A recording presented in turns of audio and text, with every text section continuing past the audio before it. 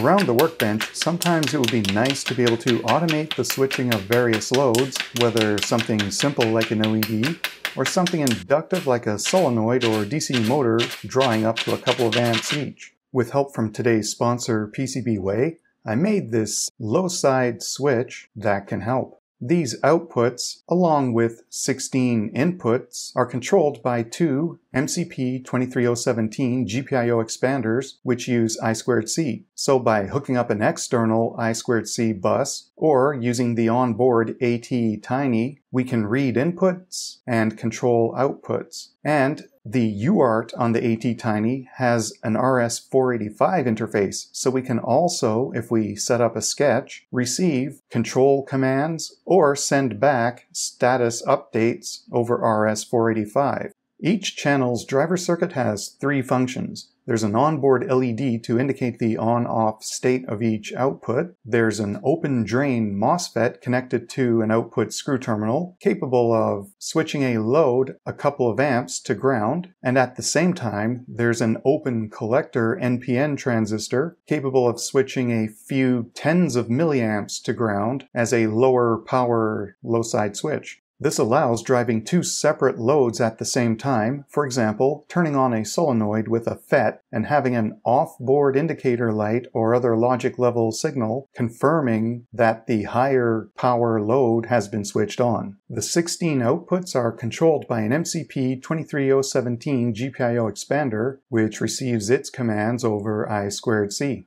The I2C connections to the GPIO expanders go to a screw terminal where an external controller can be used for this board, and the I2C also connects to an on-board controller, which is an ATtiny device. Depending on the intended I2C configuration, various jumpers can be installed or removed, including the ability to isolate the ATtiny from the I2C bus altogether, which would then allow the external I2C controller to take over on these GPIO expanders. And since the data and clock lines both need a pull-up resistor somewhere on the I2C bus, there's jumpers on this board to enable those, and that's the way we would set it if we're only using this board without an external I2C hookup. But if we do connect any other external I2C hardware, if that hardware has a pull-up already, we would either need to disable that one one or disable these onboard ones. There's one GPIO expander dedicated to reading 16 5-volt logic digital inputs. These inputs can be used to directly trigger a certain output when the input is activated, or you can just set it up so that each of these pins will control a certain mode of operation. For example, you trigger the second screw terminal and all of the outputs go on and off in sequence just as a test mode or any other function needed. Or, of course, you don't even need to use inputs. You can just send commands over external I2C or RS485. These larger screw terminals at the top of the board are the high power outputs with the FETs, and the corresponding low power NPN outputs are here with the smaller screw terminals. So when channel 1 is on, both the high power and low power channel 1 are on. Looking at the RS485 to UART connections, if the onboard ATtiny is acting as the I2C controller, the ATtiny's UART can be configured to receive commands over RS485 or send some status updates back out to RS485. This allows an external controller other than I2C to provide a more robust interface, which may be good in electrically noisy environments or if using long wires to get between the controller and this board. Each of the GPIO expanders for the inputs and outputs need to be configured with a unique I2C address on these three jumpers for each chip. The main high power outputs use 5.08 millimeter pin spaced screw terminals rated for higher current, and for flexibility, the smaller screw terminals are 2.54 millimeter pin spacing, so that allows substituting other standard 0.1 inch headers like these breakaway headers or JST headers. The board logic runs at 5 volts with an onboard regulator, so to power the board with flexibility, I want it to be able to use a variety of different DC sources, including wall adapters or other power supplies. So I rated the input between 6.5 to 12 volts. And because I'm going to be dropping from up to 12 volts down to 5, that alone will cause power dissipation. So I'm using a surface mount package that can easily handle the power dissipation, including the amount of current to run everything on the board.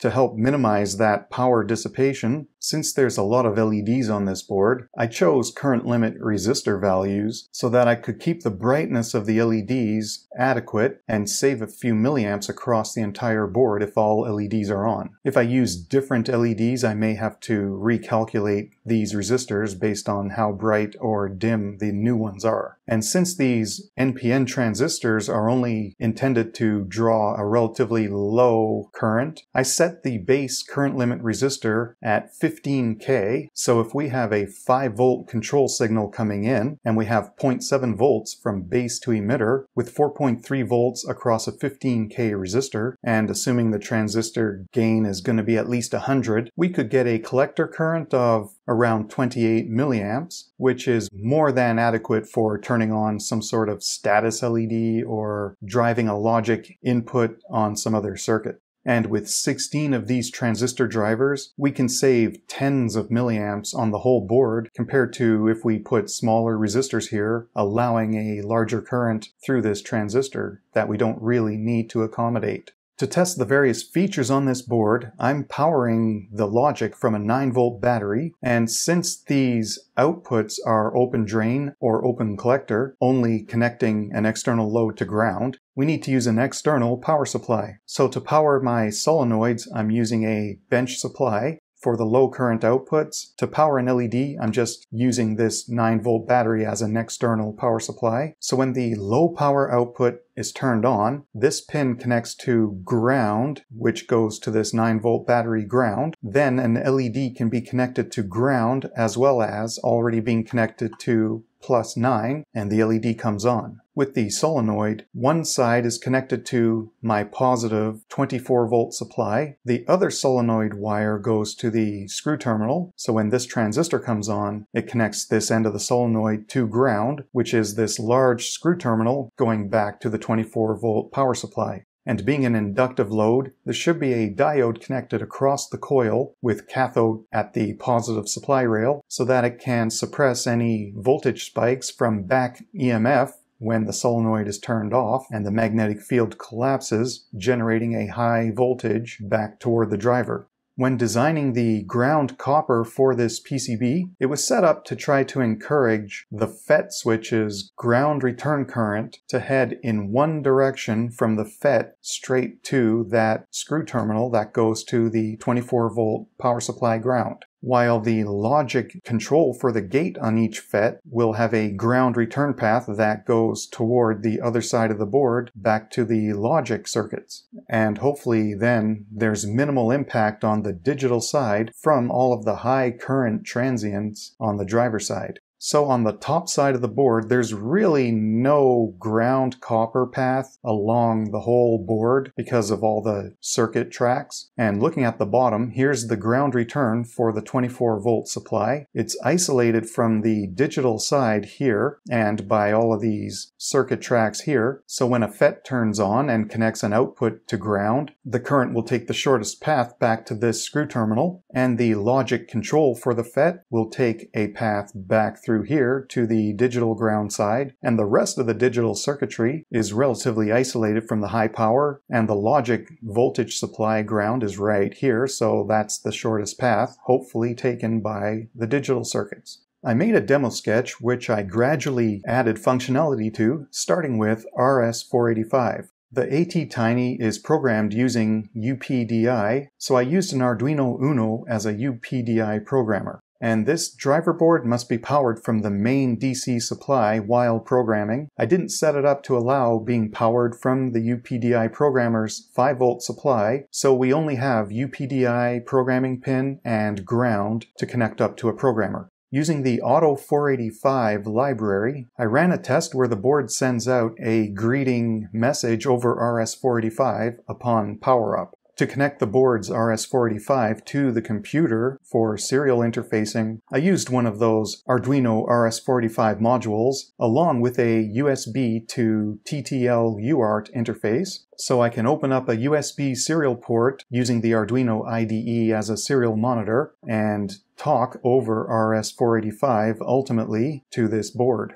To test that the board can receive RS-485 data, I set the sketch up so that when it receives data, the ATtiny status LED will blink, and when the board specifically sees a lowercase a character, I'll get a slower LED blink to show that I can actually not only receive data, but process it. To test the high current outputs, I made several test functions, and one of them is to read eight of the digital inputs, and if they go low, turn on the corresponding digital output. And there's other functions like I can turn on all the outputs, wait a while, and then turn them all off. So it just allows me to exercise the board and see what happens when I try to draw 8 or 9 amps all at once. I also used an LED connected to plus 9 volts and to the low power outputs so I can confirm that the NPN transistors can connect the LED to ground to turn it on. I'm using two different kinds of solenoids and they draw around half of an amp each and four of them draw a little more. So when all 16 are on at once, they draw between 8 and 9 amps.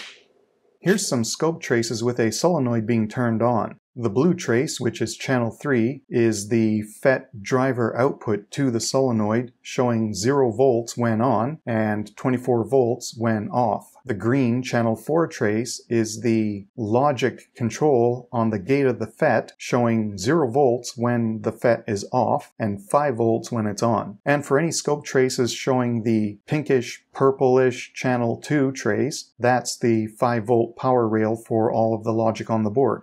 As expected, when switching inductive loads, there's possible transient noise from disturbances like ground bounce, so the FET gate control shows a little ringing, as does the 5 volt supply rail, but the 5 volt rail only dropped by around 200 millivolts, and it didn't cause any functional issues while testing. The resistor on the FET gate can be tweaked to help control the switching speed for the driver, turning it on faster or slower, and I found that the ringing was minimized when I used 1.5K and a little bit of a slower switching speed compared to if I used maybe 600 ohms and turned on the driver faster but got more ringing. And by having a larger resistor here, it also helps limit the current on the GPIO expander outputs when the FETs are being switched and the parasitic capacitances are charging or discharging charging through those GPIO pins. When simultaneously switching multiple loads, the disturbance can increase, so in the sketch, anytime an output is being turned on or off, I use a function that adds a short delay after turning it on or off to allow settling time for the solenoid. And in this case, doing this control over I squared C, I really don't even need to add a delay. I'm just doing it here to remember that it's needed. But the amount of time it takes I squared C to go and communicate automatically allows enough settling time. So as long as I'm only turning one at a time on and off, the system just runs a lot better.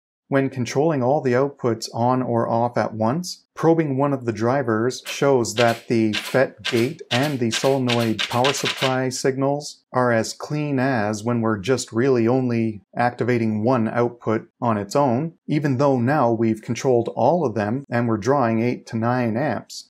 I didn't specify an overall current that the board can switch, or a maximum amount of current per channel, but if a significant current is passing through the PCB, the user will have to factor in the limitations such as ensuring that the wiring gauge can handle the overall current and that the current in any single channel doesn't exceed the capabilities of the FET and that the overall current is reasonable for the power supply capabilities and the current ratings of all of the contacts and any other components in that current path. So large screw terminals like this can easily handle several amps per channel. The FET itself is rated over 5 amps, so I wouldn't try to draw that much current, but possibly 1 or 2 amps easily. And this is a heavy duty common ground screw terminal with four through hole pins in the board So that driver ground screw terminal has enough copper contact to do a bunch of current overall,